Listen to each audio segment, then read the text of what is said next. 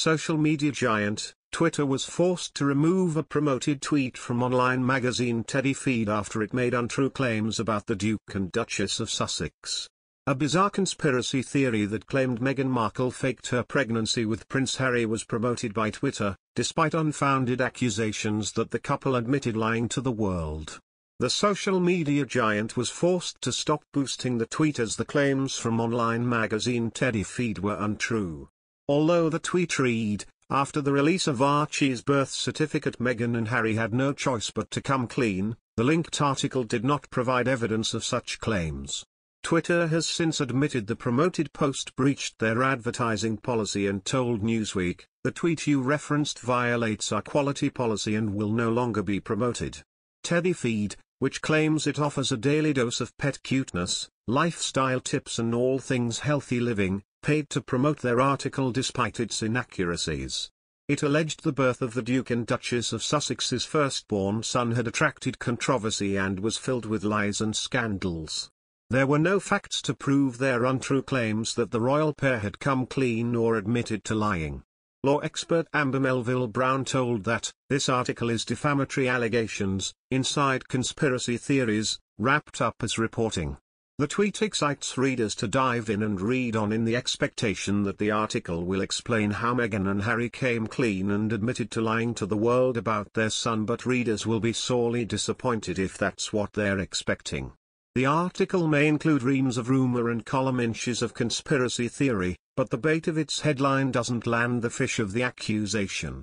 It's not the first time Harry and Meghan have fallen victim to odd conspiracy theories and earlier this year Meghan's estranged half-sister Samantha Markle questioned whether Archie and Lilibet even exist.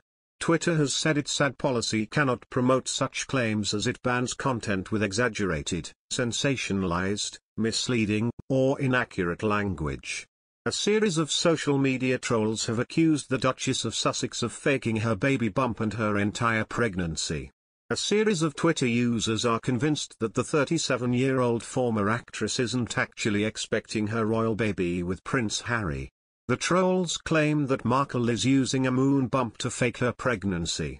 Meghan Markle is not actually pregnant and she's just wearing a fake belly and the royal family is all complicit in conjuring up a stunning scheme to fool the public. All those times she was grilled for cradling her pregnant belly.